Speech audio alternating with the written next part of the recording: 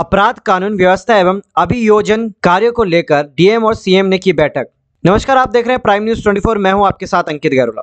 जिला अधिकारी राकेश कुमार मिश्रा व पुलिस अध्यक्ष दिनेश सिंह ने आज कलेक्ट्रेट सभागार में अपराध कानून व्यवस्था एवं अभियोजन कार्य को लेकर सभी उप जिला अधिकारी पुलिस क्षेत्र अधिकारी व थाना अध्यक्ष के साथ बैठक कर आवश्यक निर्देश दिए। बैठक में जिला अधिकारी ने भू विवाद निस्तारण, आपसी रंजस अपराध, रोकथाम, विवेचना निस्तारण, अपराधी पर प्रभावी अंकुश लगाते हुए पाबंदी की कार्यवाही। गुंडा एक्ट, जिला बदर एवं हिस्ट्री सीटर आदि की समीक्षा किया तथा अपराधियों पर सतर्क दृष्टि बनाए रखने के निर्देश दिए। उन्होंने कहा कि महिला उत्पीड़न, पास्को एक्ट, हत्या, बलात्कार, अपहरण, दहेज प्रथा आदि प्रकरणों में त्वरित कार्यवाही सुनिश्चित की जाए।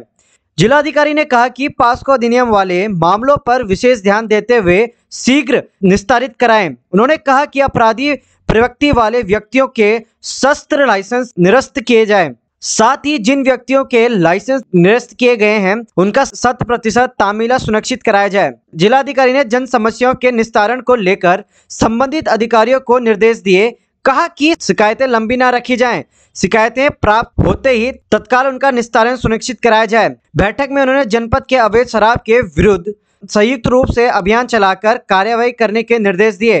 बैठक में पुलिस अध्यक्ष ने सभी सीओ व थाना अध्यक्षकों को निर्देश दिए कि जघन्य अपराधियों के विरुद्ध कड़ी कार्रवाई की जाए। उन्होंने कहा कि जिन अपराधियों को छह महीने के लिए जिला बदर किया गया है, वह छह महीने तक ज़िले से बाहर रहें। यह व्यवस्था सभी थाना अध्यक्ष सुनिश्चित करेंगे। बैठक में अपर जिला अधिकारी वीरा सुशील प्रताप सिंह, अपर पुलिस अध्यक्ष वी के पांडे, जिला समाज कार्यालय जिला अधिकारी आर के शर्मा, समस्त उप जिला अधिकारी पुलिस क्षेत्रीय अधिकारी व थाना अध्यक्ष मौजूद रहे। प्राइम न्यूज़ 24 के लिए अंकित गर्ला की रिपोर्ट।